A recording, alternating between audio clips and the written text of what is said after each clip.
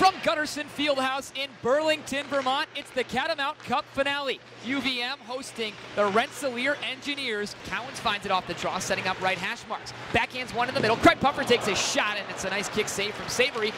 Cats try to break the puck out, but it's taken over by Hallbauer, top of the zone. Pass right side, Linden. He takes a shot and he scores. Goes down behind Stefanos Lekkas. Dancing around with it. Wide open chance. Jerry, a kick save. Lekkas, a second kick save, and he's on his back. Makes one with his glove, and the crowd loses it. By the Engineers, sent down behind the net. Lappinen backhands one into the middle. No one knows where it is. It's hit by a hand. Puck's loose in front. A rebound chance and a goal. Puck's one back to Grant. Horizontal pass. Here's Carter Long. Back to Grant. Wrist shot and a goal. Kaufman with the screen. He may have gotten a piece of it. It's two to one. The Catamounts get on the board.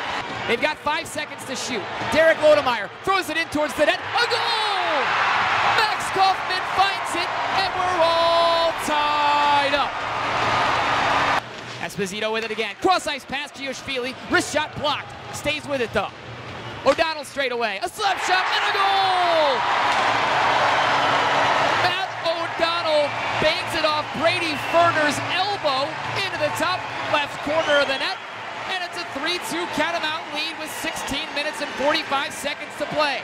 Marty Frechette finds it on the far boards. Instead, it's lockup. Cross ice pass Hayworth. Dangles through Owen Grant. Hits one man. A dangle in on Lekkas. And he makes the save with his right pad.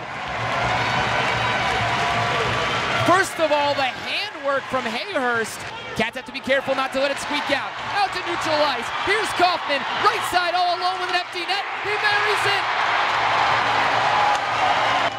And for the seventh time under Kevin Sneddon, UVM is the Catamount Cup champion.